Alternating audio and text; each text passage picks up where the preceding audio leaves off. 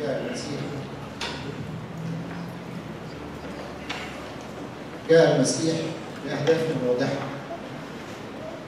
رسالته كانت واضحة جدا واحدة من هذه الأهداف جاء لكي يعلن الله. والله اللي أصبح بالنسبة للبشر والناس. ضابط غير مفهوم. الله اللي أصبح صورته غير معروفة. للناس الله اللي الناس بيحاولوا يفهموه لكن بيحاولوا يفهموه بمحدودية ذهنهم والمحدود عشان كده هم مش قادرين يعرفوه هم مش قادرين يفهموه. جاء المسيح وقال لنا قال لنا إن الله حبه قال لنا إن الله قريب. قال لنا إن الله مش واقف عشان يدين الإنسان لكن الله عاوز يقف مع الإنسان الله الإنسان غالي جدا غني قال لهم أنتوا ليه خايفين؟ أنتوا ليه قلقانين؟ أنتوا ليه مهتمين وتقولوا ماذا نأكل وماذا نشرب وماذا نلبس؟ ليكم اب في السماء عارف احتياجاتكم انظروا إلى طيور السماء انظروا إلى الغربان إنها لا تزرع ولا تحصد ولا تجمع إلى مخازن الله يقول انظروا إلى زمان الحق. ولا سليمان في كل مدينة. كما يلبس كواحده أنتم اغنى واقيم اعظم من طيور السماء وزنابق الحق. فكم يلبسكم أنتم؟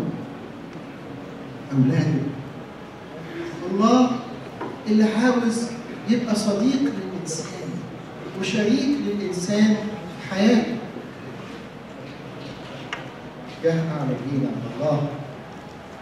وجاب لنا قوة الله إلى حياتنا مش بس الله بيحب من بعيد لكن المسيح فهمنا إن الله بيحب وكل قدراته وإمكانياته هي موجودة ومتاحة لينا. جاب قوة السماء والملكوت إلى عالم البشر والإنسان.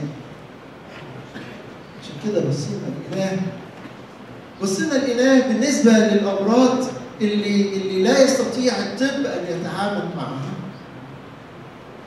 قوة الله جاءت لتشفي.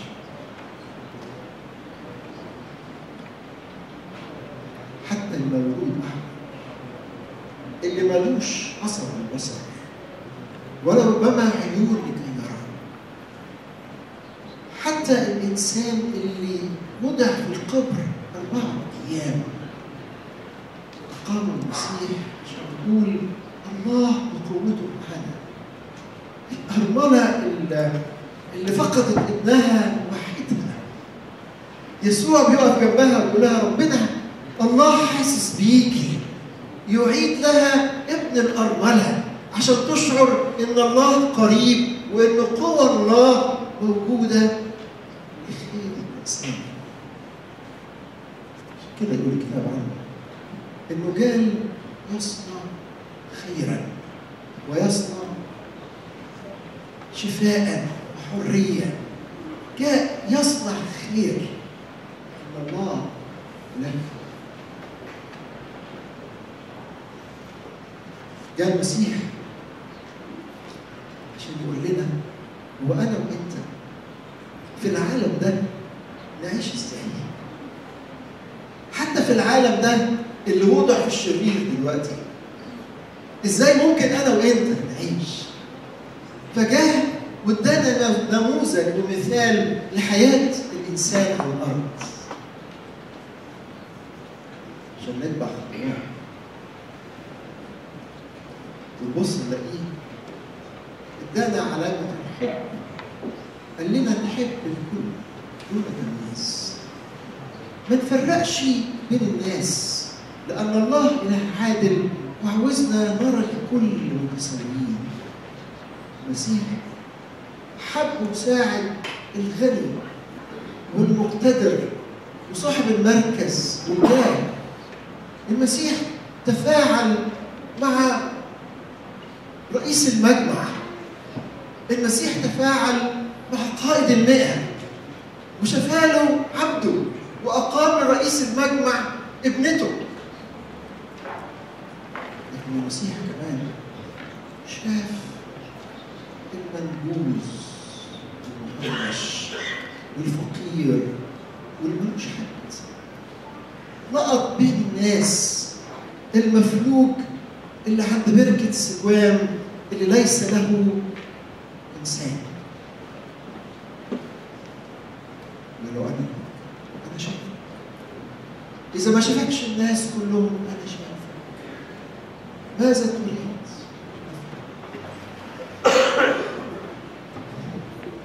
الناس؟ في ناس كده مهما علت صوتها ما حدش بيسمعها لأن هم ما لهمش كيان ولا جاه ولا وجود في عينين الناس.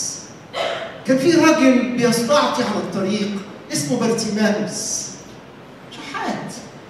مين بيهتم بيه؟ مين بيسمع له؟ لما لما عرف إن يسوع عابر في الطريق حسب الامل ابتدى يصرخ يا يسوع يا ابن داوود ارحمني. الناس ما سمعتوش. مش بس الناس ما سمعتوش. الناس حاولت تسكته وحسوا إنه ملوش الحق. انه ينادي على يسوع ابن داوود مين هو؟ مين هو عشان يهتم بيه يسوع ابن داوود؟ قالوا له اسكت اسكت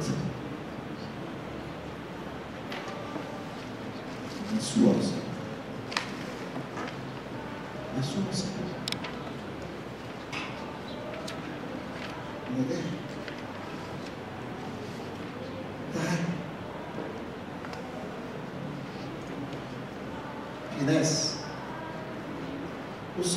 بمرض برص المجتمع كله نفسه أصبحوا محرومين من التواجد في المجتمع. بيعيشوا في الجبال لوحديهم في وسط أمراضهم ووحدتهم. يسوع بشر مش بس المسيح شفاهم لكن المسيح لمسه المسيح قال له أنت أنت أنت مش نجس. أنت إنسان. أعطانا مثال. عشان نحب ونعدل بين الكل ونشوفهم كلهم مخلوقين على صورة ربنا مستحقين لكل كرامة ديجنتي شرف. مستحقين للحياة الكريمة. ليهم حقوق بشر.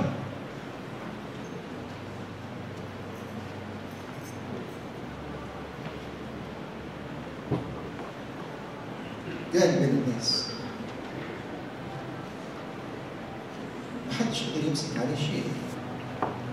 عشان كده هو نفسه قال من منكم يبكتني عن خطيئة كان نموذج للسلوك البار مش بس السلوك البار السلبي الذي لا يفعل الخطيئة لكن للسلوك البار الإيجابي الذي يفعل الحق الحب الخير.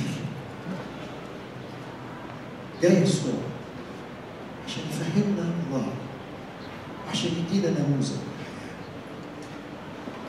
بس حياتنا بكل اللي عمله ما كانش كفاية لا أن يعلن عن الله ولا كفاية عشان يدينا النموذج كان في حاجة تانية لازم يعملها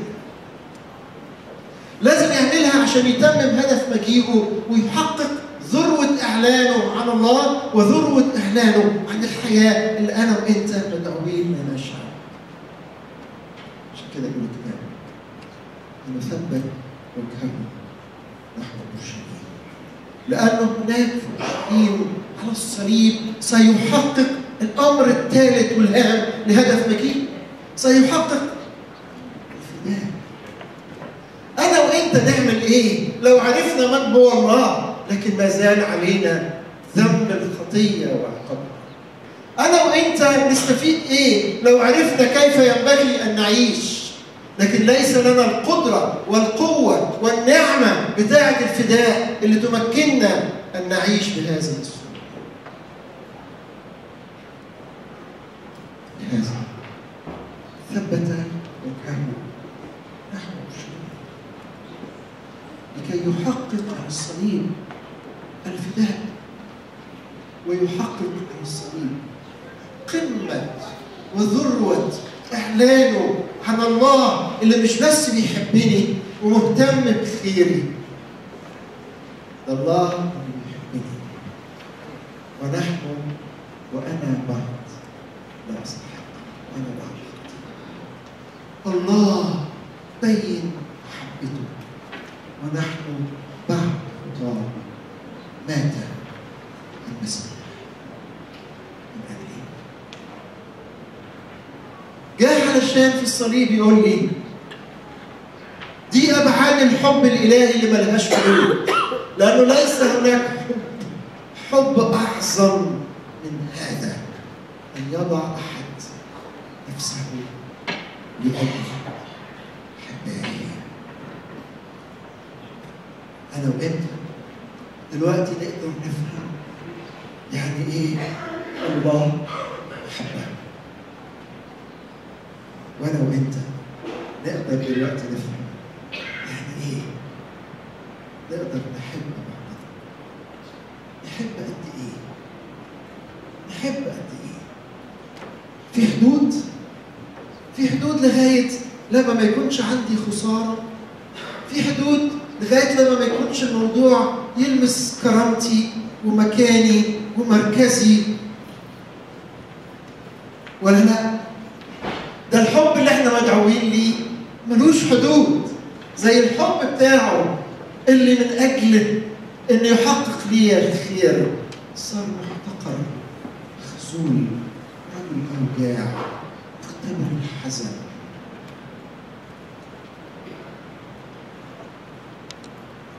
ثبت. وجهه نحو وما أعظمه أسبوع. وما أمجدها أيام وما أقدسها ساعات ولحظات.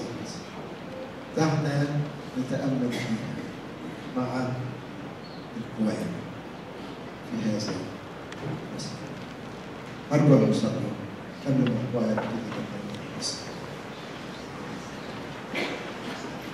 إلهنا المبارك الصالح إلهنا يا من رضيت أن تأتي إلينا في صورتنا وتأخذ جسد تواضعنا وتحمل في نفسك أنت عارنا وخزينا وخطايانا وتذوق من أجلنا الموت كي تهبنا الحياة والكرامة.